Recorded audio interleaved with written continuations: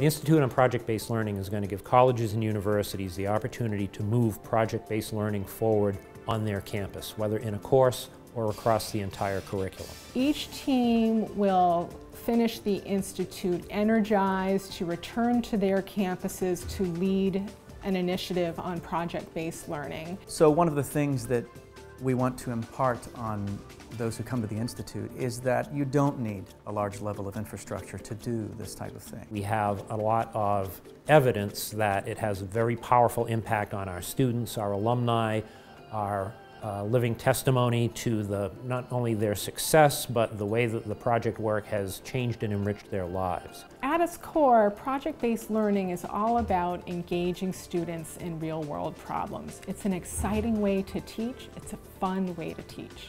I mean, one of the things that I really like is that through the projects, the students get really excited about their learning.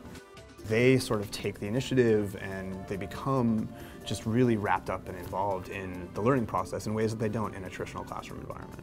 We can teach students a lot about the theory of what's going on in the different disciplines, but if we give them a chance to actually take hold of something, claim ownership of something, in a project that is either akin to something being done in the job market or the actual thing, I think everyone is going to be surprised at how they can incorporate project-based learning into their curricula. We encourage all types of colleges and universities to apply to the Institute.